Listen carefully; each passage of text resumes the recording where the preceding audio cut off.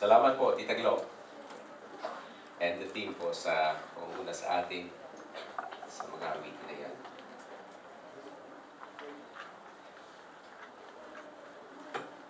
Praise the Lord because I believe as what the songs tell us that uh, God has given us this wonderful day for us to, to honor and worship Him. He has gathered us here in this place that we can really feel His presence, as, as it, like the first song says, that uh, heaven is among us, is within us. The heaven is our banner in us. We feel the blessings of heaven as we gather together and worship Him in our midst. So we praise the Lord for that time reminder. And as, as disciples of Jesus, as disciples of God, I believe that all of us really have to realize that we really need to give our, our, our worship to God, our, our praises to Him, because we believe that every moment of our life, we know that He is working powerfully and mightily. He's the one managing our life, guiding us.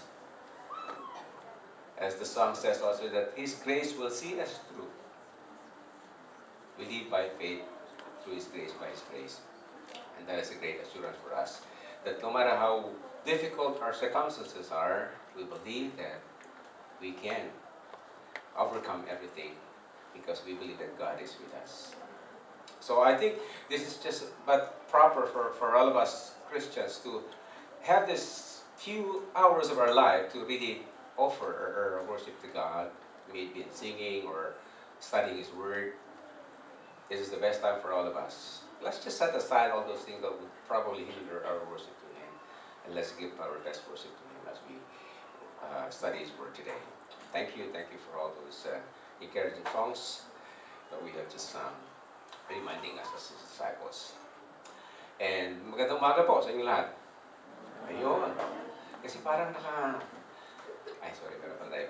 So, uh, uh, just last Friday, uh, uh, continuing with our discussion, just last Friday we have discussed, as uh, uh, Dickman Peter has just mentioned in his introductions, that we have discussed uh, the, the life of Abraham, taken from, the, from Hebrews, Hebrews 11, 8 to 10. We, there we have learned that from the life of Abraham, how, how God's gracious equations, know, he is the one balancing our life. So he is equating our life. How his gracious equations, you know, strengthens our spiritual condition. It is good to, for us to realize that every moment of our life, God is doing these things for us to see that He is our sovereign God. He is our great God. And there we have discussed actually last Friday that God equates our life by calling us to a realm of uncertainty for us to understand His sovereignty. We have discussed that last Friday. And I hope you still remember that uh, there we need to really uh, decide for, for the Lord, for us to understand His sovereignty. Like, like what Abraham experienced. He didn't know where to go, what to do, but he responded anyway. He went, he obeyed, and he went. Because he believed that God is sovereign. Because God is calling him for a certain purpose in his life. There also we have discussed that God equips our life by casting us into the reign of austerity for us to underscore His sufficiency. We may be experiencing uh, needs in life, things that we need in life, and yet we could not experience it because simply because God is the one providing all our needs. He wants us to learn that He is the one providing all our needs. That in every situation that we need Him, we believe that He's there always to give what we need in life. Not just, not, not simply because we want this thing, but we need this thing. So there we have experienced, we have underscored the, the sufficiency of God, and there we need to maintain the conditions that lean upon His sufficiency. Always lean on God, and that is what we experience, what we have learned from, from Abraham. Okay, and there also we have discussed the third point last Friday that God equates our life by carrying us through a ray of eternity for us to undergird the simplicity of life. You know, even in the simple things of life, when we experience these things, simple as this, and yet God is preparing great things for us. Our life is for eternity. When we experience simple things in life, it's okay.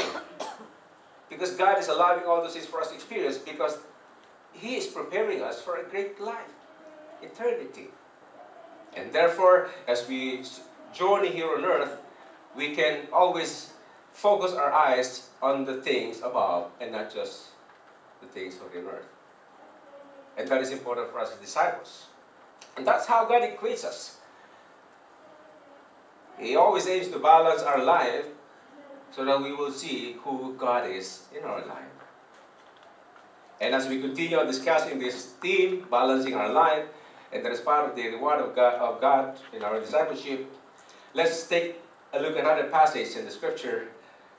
It's taken from the Old Testament. If you have your Bibles with you, please turn to me to the book of 1 Kings, chapter 17, a very familiar passage, I believe, for all of us. Chapter 17 of 1 Kings, verses 1 to 6. And let's see and learn from this. And if you have your Bibles with you, just please open it.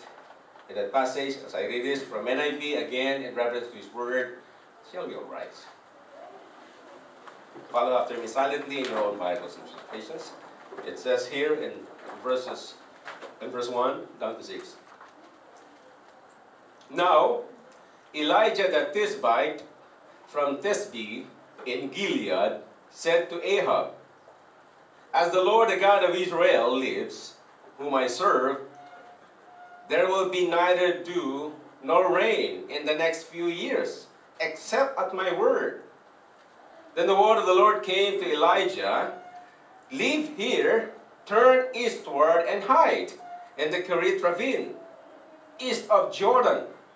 You will drink from the brook, and I have ordered the ravens to feed you there. So he did what the Lord had told him.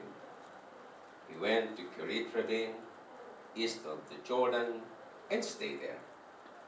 The ravens brought him bread and meat in the morning, and bread and meat in the evening, and he drank from the brook. May God bless the reading of His Word.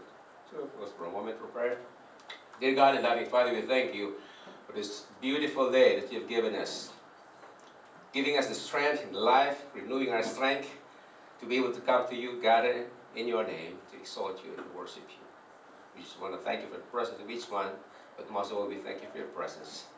Thank you for the Holy Spirit that is in us, enabling us to understand your word. So it is our prayer, Lord, that even as we study this scriptures of yours, we pray that the Holy Spirit will be our teacher. Thank you. We ask that you will bless us, O God. This we pray in Jesus' name. Amen. Thank you. Thank you. Please be seated.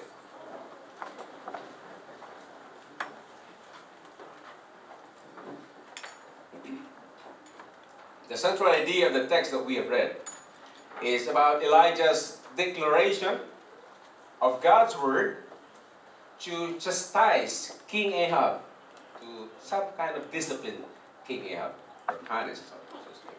King Ahab, the king of Israel, and the disobedience of the nation, and how the word of the Lord timely came to Elijah to guide him in his difficult and troubled times. The, the, the, the, context says that he is in trouble. He is in a difficult situation in his life as a, as a, as a prophet of the Lord. And from this passage, a, a desire, a purpose of the sermon for us, for us today is that, that we would be able to comprehend or understand and then appropriate the Word of God, guiding and encouraging us to persevere in our daily encounter with difficulties. It is always our faith that the Word of God will always guide and encourage us in our difficult times.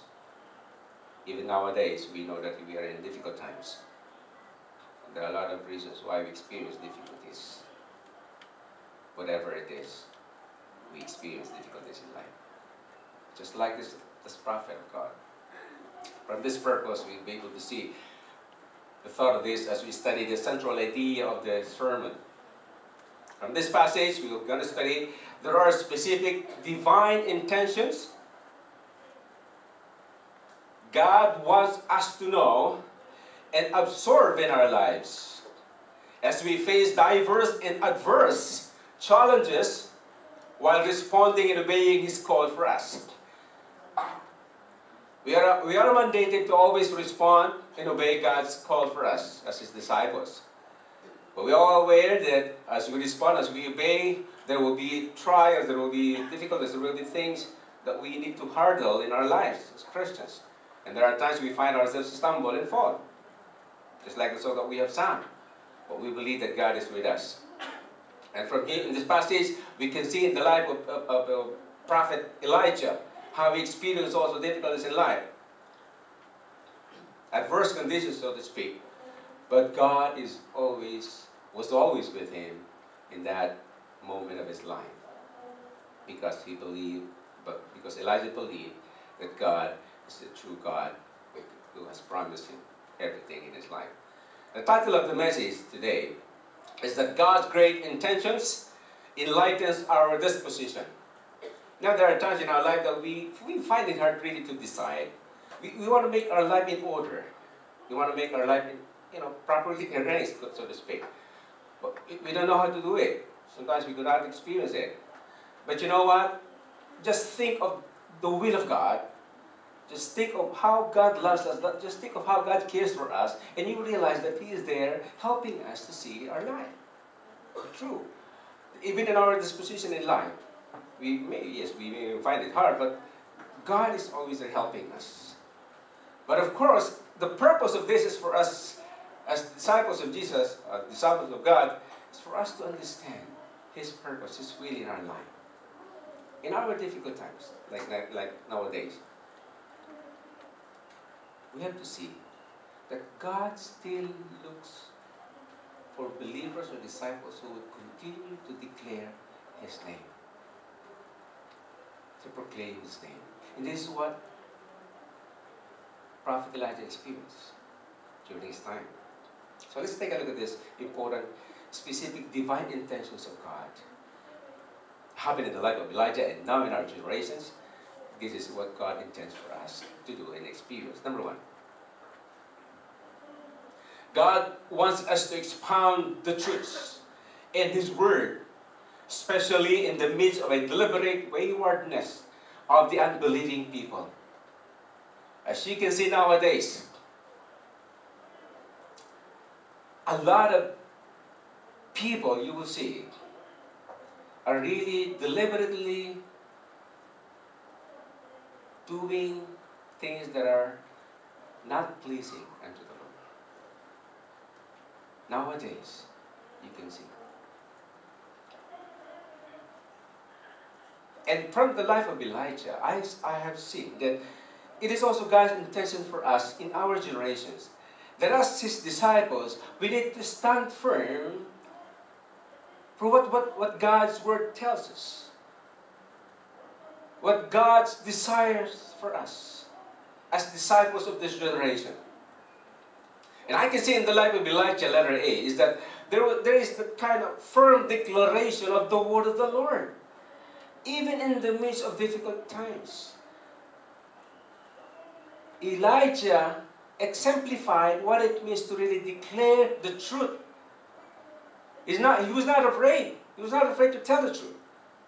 He was there in front of the king, in front of the people, telling them that this is what God wants us to experience. And this is what God wants them to see in their lives you will notice in the passage, especially in verse 1, it says there, As the Lord, the God of Israel lives, whom I serve, there will be neither dew nor rain in the next few years, Accept at my word. And linaw. Specific, very clear. And very, very brave. he is, uh, Elijah was so brave to tell the truth, to tell the will of God to these people who are deliberately disobeying God. You know, King Ahab is the king of Israel. He's supposed to be, you know, showing what, what God wants them to experience. And yet,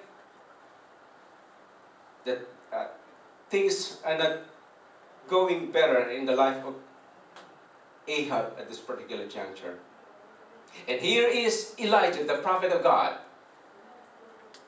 A prophet who believed in God, a prophet who, who really want to declare what God's will for them. And I believe when, when, when Elijah said this, sabi nga, in your face, ito sinabi ni, ni Elijah sa harapan ng hari. Can you imagine? In front of the king, telling this, As the Lord, the God of Israel lives, whom I serve, there will be neither dew nor rain in the next few years. Grabe, grabe yung power ng word dito ni Elijah. And I, obviously, these are the very words of God spoken to and through Elijah to rebuke the king, to rebuke the king of Israel for their idolatrous act, which is exactly a rebellion against God. You know, anything that we do like like worshiping other gods or idols is idolatry and it's abomination before God and that is rebellion against God. And this is what happened to Israel. They, be, they become engrossed in, in, in serving and worshiping other gods.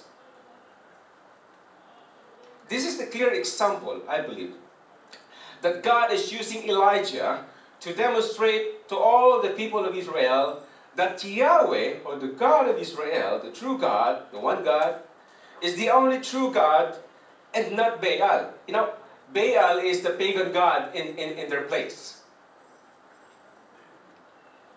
Baalism.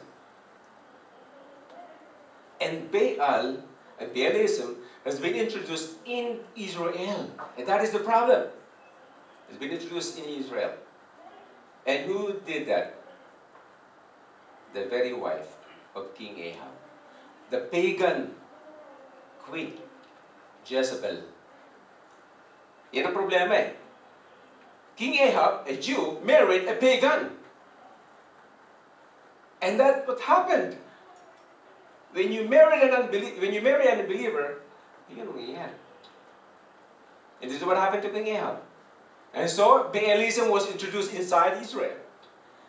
And they began to worship other, other gods except the true God. Aside from the true God. And here we can see the problem came in. And yet, God is speaking to Israel through prophet Elijah. Elijah received words from God, I believe. And now he was firmly declaring that Yahweh alone must be worshipped. Nowadays, just look around, anywhere in the world, even in this place, a lot of gods are being worshipped. And where are the believers? Where are the disciples who are really worshiping the true and only one God? Where are they? Are you a disciples of God? Are we, are we truly worshiping God alone? That is the question. Even nowadays, do they see from us, do they see in us that we are really truly worshiping the true God? Or we are probably com compromising? Because it's, it's the trend. And anyway, a lot of people are doing this, so we can probably do this also. That is a problem. But here you can see in the life of Elijah, I, by the way, the, the, the meaning of Elijah is very nice. The meaning of Elijah is, the Lord is my God. That is the meaning of Elijah. The Lord is my God. Gandana. What's the meaning of your name? And eh, never mind, I alam. Elijah said, the Lord is my God. These generations of believers, are we still declaring that the Lord is our God? And the things that we do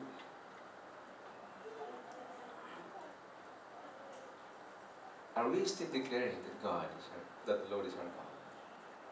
What we can see in the life of Elijah is the word of the Lord is burning in his heart that he needed to proclaim. He needed to tell the king and the people to go back to the worship of Yahweh. Because they have forsaken worshiping the true God. I don't know how many Christians nowadays are really, truly worshiping the true God. I don't know. Or we, we worship God whenever we have a Friday service or Sunday service, and then after this, we worship other God. I don't know. But how can we declare to other people that we have the true God if nothing is seen in our life as the true disciples? You know, the problem in the context that we're discussing is that the wicked king Ahab had permitted his pagan wife, Jezebel, to bring the worship of Baal into Israel. That is the problem. And she was actually, Jezebel was determined to wipe out the worship of Yahweh during that time. She was so determined to wipe out the worship of Yahweh, the worship of God. I don't know. Do you feel something today that there are a lot of there are groups probably who want us to stop worshiping the true God, and they would, you know, do anything, everything, just to stop us worship, just to stop us worshiping the true God. We don't know. We don't know. So sad because you know in Syria and Iraq, you can see and hear a lot of Christians are beheaded because they worship the true God. What if ISIS come here in the UAE? Are we willing to face challenges? I don't know. I don't know. You know what happened in, in, in France, right? In Belgium. They even threat, threatening our country. Have you, have you seen the video? They're going to target Manila, especially all the Christians.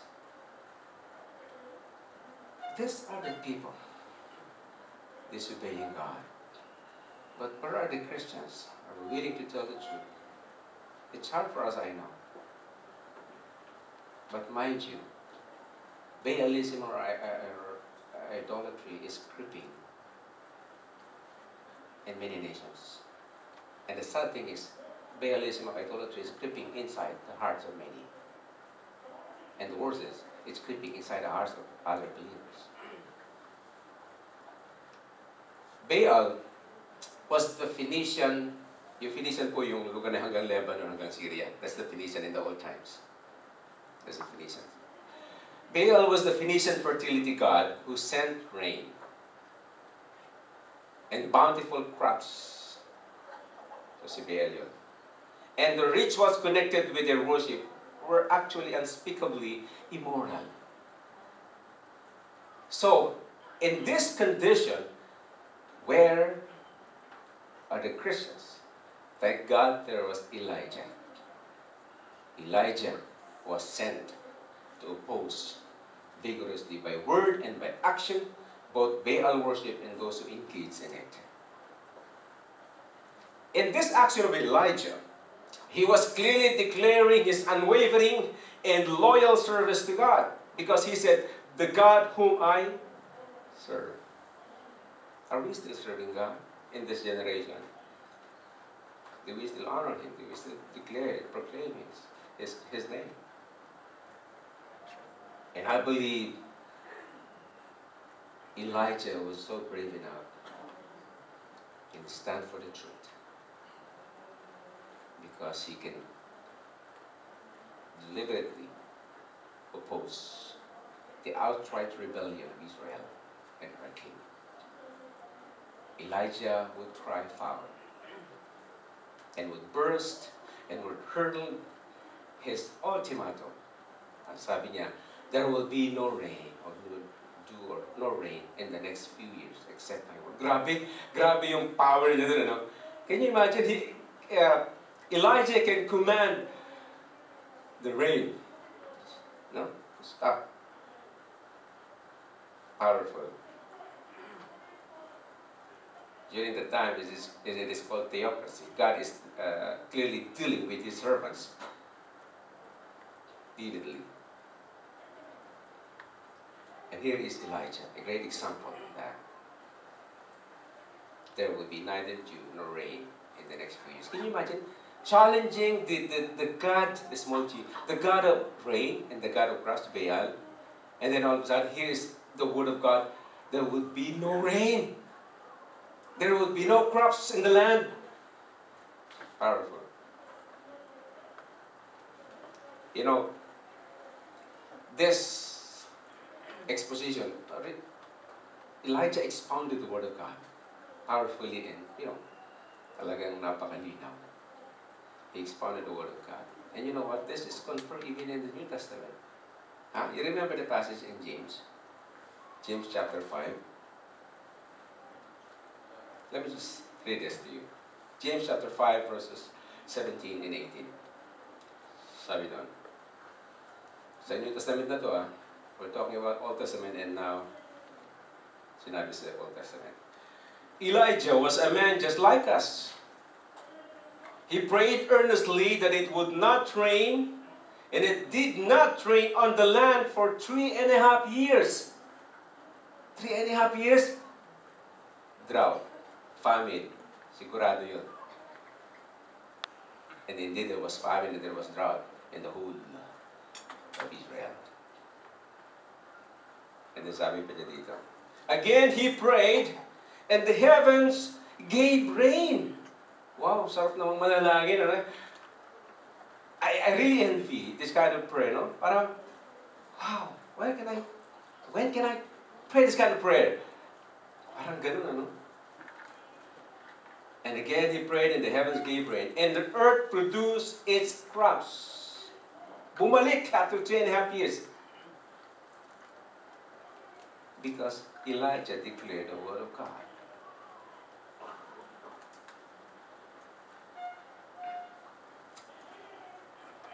For us Christians, we have the Word of God. For many, many years we've been studying the Word of God. I don't know how many of us are really, truly applying the Word of God by faith. By faith. I know many of you have already prayed that, for example, the rain is coming, and you pray, Lord, please stop that clouds. Wow. And it happened, it stopped. I know some of you have prayed that. It's good. Praise the Lord. It's by faith.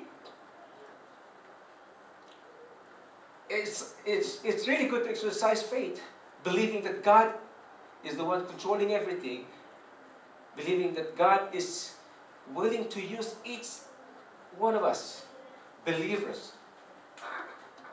na mayroong faith sa Diyos, to declare who He is. Brethren, let's look around. Do we see waywardness or rebellion against God of the people nowadays? What I mean is people who worship other gods.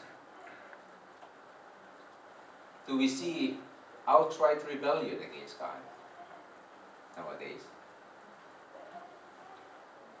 Yes, I, I, I think we can all agree vividly and clearly there are rebellions against God. The, the question is, do we tell them about the Word of God? This is God balances our ministry, our life. God has called us as His disciples to be in this place, to tell others the righteousness of God. Or if you are not that brave enough to speak, to speak out, at least by our actions, by our actions, we tell them what is right and what is pleasing unto the Lord. Our prayer is that we'd be able to stand for the truth in this generation of disciples. God wants us to expound the truth in His Word, especially in the midst of deliberate waywardness of the unbelieving people. Sana makita sa atin yung bilang mga alagad ng Panginoon by our actions. Second point I would like to share with you. God wants us to experience the comforts of His loving care, even when our life is in the midst of real threats from the unforgiving people. We can see this in, the, in our passage in verses 2 to 4.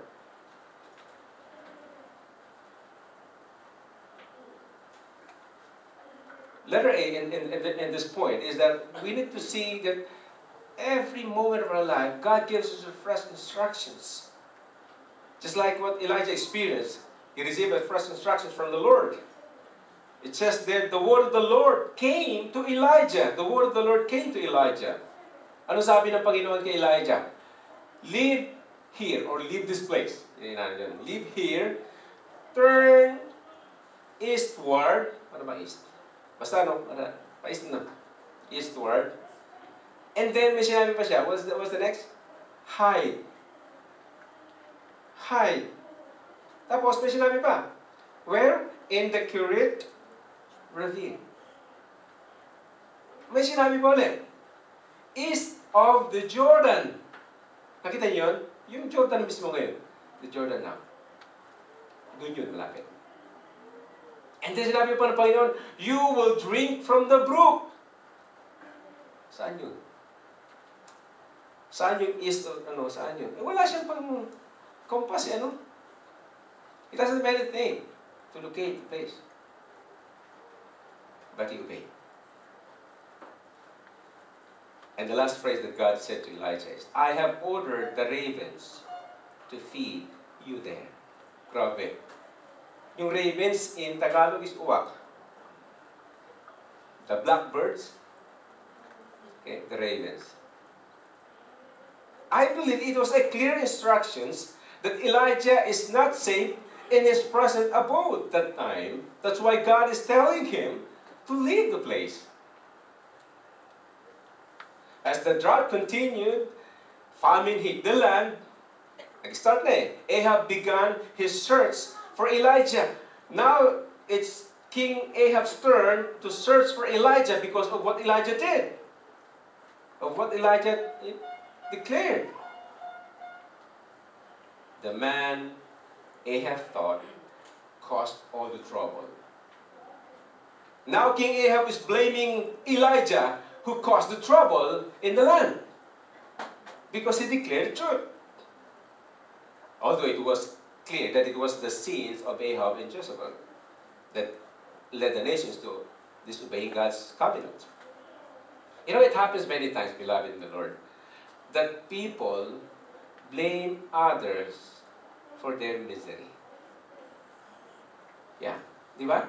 It happens many times. They created their own uh, problems and they blame others for their problems. It happens. Even in the old times, it happened. It happened. Even now, in our times. So, watch out. People will blame you for the things you have not done. This is a classic example of how God shows His loving care. Yes, Elijah was being blamed. He was being pursued. He was threatened by Ahab and Jezebel. But in this particular moment of his life, God is showing his loving care by giving specific and fresh instruction for the benefit of his servants or his disciples. You know what, what is interesting? When we are in a difficult times of our life, God will always give us fresh instructions from His Word. So it is important for us to always see and look at His Word, study His Word, so that we can see His instructions, we can understand His instructions. And this particular uh, moment in the life of Elijah, this also reveals that God leads His servant a step at a time as He tunes his heart to His Word and always listen to His voice. The secret of knowing God's will is to study His Word and listen to His voice. Even in difficult times, you will experience the voice of God. You will hear the voice of God if you study His Word. You will have a lot of wisdom how to decide and what to decide. You will have. This means that God is directing Elijah at each critical juncture of his journey or in his journey, even in difficult times. What is amazing is that in difficult times, God is, you know, dictating actually or directing us in the critical juncture of our journey. Are you in your critical journey in this part of the world, UAE? No, there is God who directs you in your journey. Elijah was always close to God, I believe. That, is, that is why he could easily hear his voice. He can easily hear God's words because he's so close to God. That is the secret of Elijah. And, and he, he was bent on obeying every word spoken to him. He's bent on obeying every word spoken to him. The secret is obey God's word, follow his will. You will experience his blessing, his guidance, his loving care. This is the reason why God would always take care of his obedient servant. Probably some of you would say in the context of Elijah, why not God simply cover Elijah with his feathers of protection? Why not command him to go like this, here, here? Why not simply just, you know, cover, cover him with the feathers of your protection? So that's, that's kalas. Instead of sending him to, to a hiding place. Did you notice that? Why send Elijah to a hiding place? Whereas God can do everything to cover Elijah. Did you notice that? After all, God is a powerful God. Probably some of you, some of you would argue. You know what? God wanted Elijah to see the power of God in his own limitation. God wanted Elijah to see the power of God in his own limitations. Did you realize that? That all of us have limitations. Because God wants to show His power in our limitations.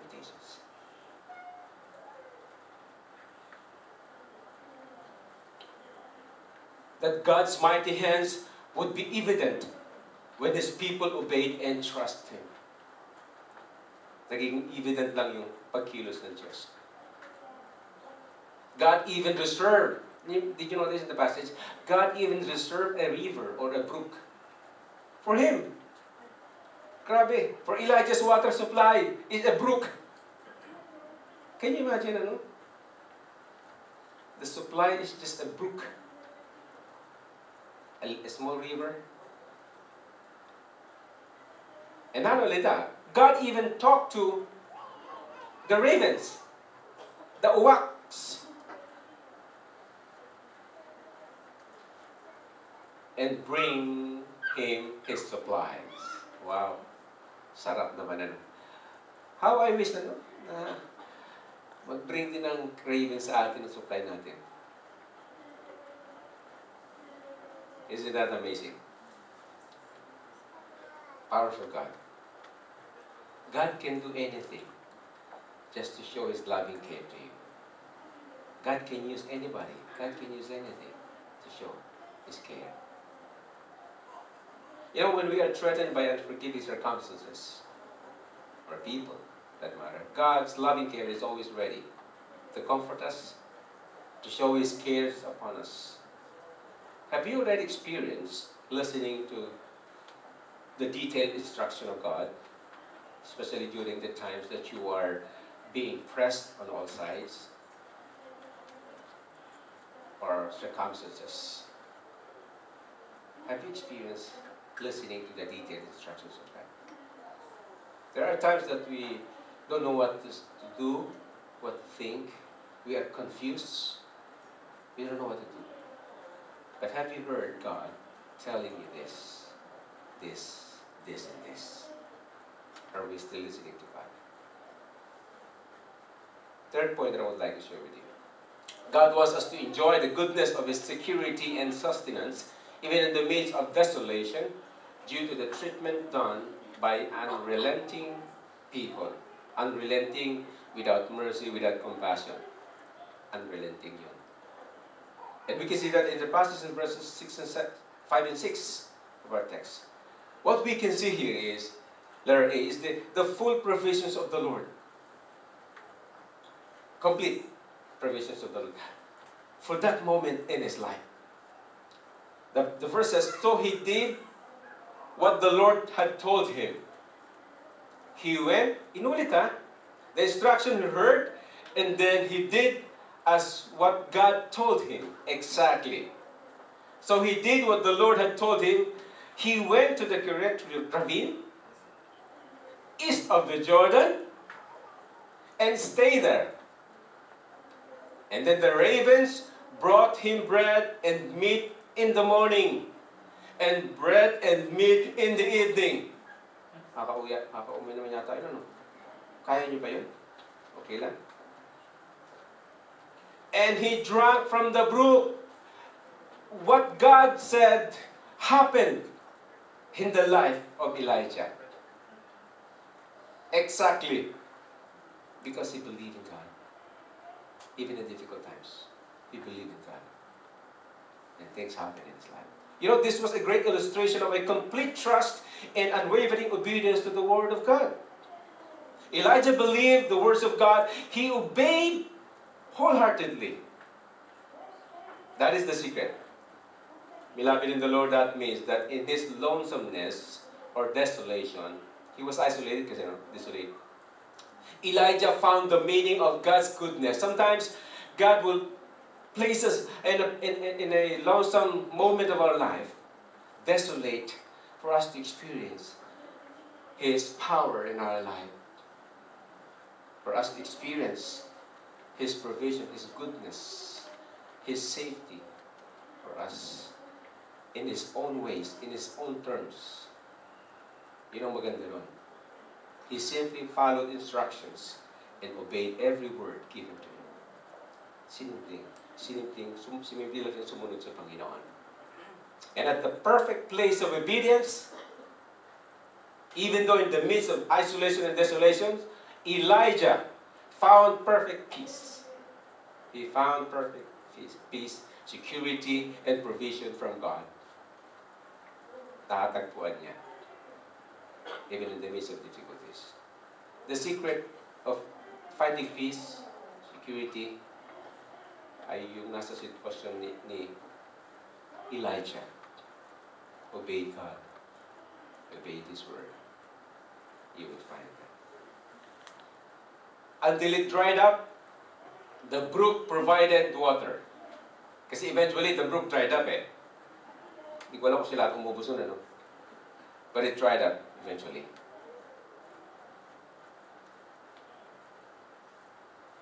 The ravens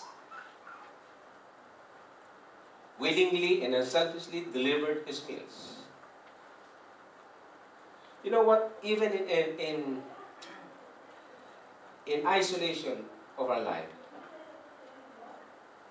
we can see the hands of God taking care of us. We can see, just like what Elijah experienced.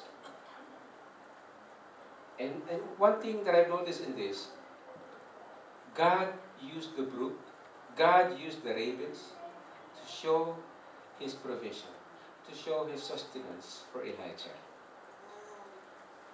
We all know that ravens, o yung mga uwak, ano yun eh, matakaw ng meat, di ba? Matakaw ng meat yan. Uwak is selfish. And yet, the ravens in this context that we're discussing, he, they willingly and unselfishly delivered the meals for Elijah. Delivered the meals. Imagine that. Even in, in the ancient time, meron na palang delivery, ano? Wow, special delivery. So, old na yung delivery. Just order, order, no? Even in those times, meron delivery. Just pray to God, God, can you deliver? I need this, God. Can you deliver? Amazing. Because he believed in God. He believed in God. And God delivers it in a special way. The raven was considered unclean actually and detestable under Mosaic law ng mga forbidden foods kasama ang raven sa pinagbabawal. Yet God used these birds to help sustain the life of his servant. Nothing impossible with God. Nothing is impossible with God. But you can see here, the Lord provided the food. The birds provided the transportation. Wow, high tech. Not motorcycle. Kaliwali, my friend, pero it's libre. Special is special from uh, air. Uh, airlines. What's, the name of the airlines? Ravens. Ravens. This is how God miraculously provided the needs for His people because they believe God. Imagine eating bread and meat for many, many days in a remote place, in a lonesome place. How would you like that? Even though you're eating some kind of food like saffron and yet you're alone, siguro baka mananawa din tayo. A very lonely and depressing place, Elijah was sustained, even in that situation, because God is the one providing. Elijah was sustained because it was given by God, and he was comforted, he was protected, he was sustained by God, because God loves and cares for him. Because he is obeying and following the will of God. You know, when you follow and obey the will of God, he will never leave you, nor forsake you. He will provide all your needs. I close this message.